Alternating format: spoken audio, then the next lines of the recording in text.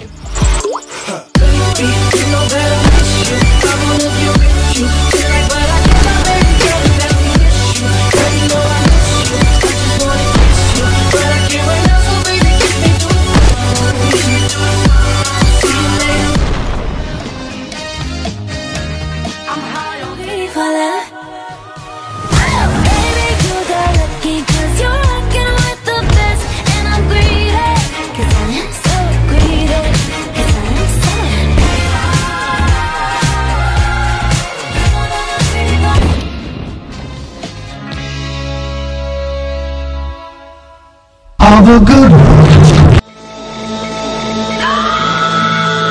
It's a a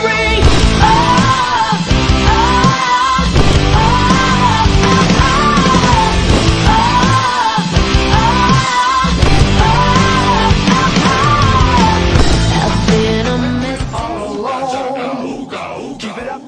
Drum roll, please. Uh, and in fourth place, we have the Behemoth BMS. What let you down, BMS, was your overall overall flow, and the color correction was a little bit too bright and saturated for for the for the clip, and also the way the first clip came in, so like it kind of killed the, the start of the edit. So and in third place, drum roll, please.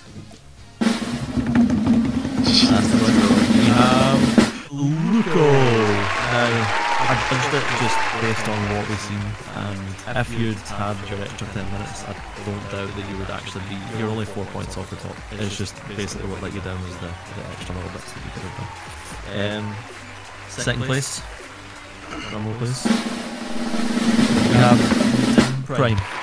What? this is rigged. no. Dan, I told you your Um, edit No, was good. one It's like second. solid. So your edit, your edit was great. There was the only thing that let you down, both of you and Dan. See, your Dan, your, you and Dan would have been way further ahead if you'd um, had a little bit more creativity. That's the only reason that Luco was placed so high because he, he, he liked to change things up. Prime, I went back and watched over both edits, and just because of the carrier clip um, and how bright the, the color correction was, it was just too much of an error. Yeah. I could, I, I didn't, I, I couldn't. I feel you, matey. Uh, no worries. So first place we have Dan. Yes, Dan! Yes. The This only is thing, go the to only looking thing that let the edit down was creativity and the use of the effects. But Oh, you overall, it was a good edit. Alright.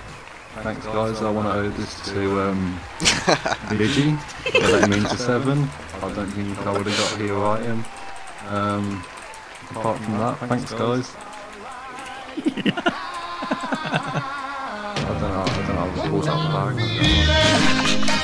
Dan, your edit bang. I'm high on believing It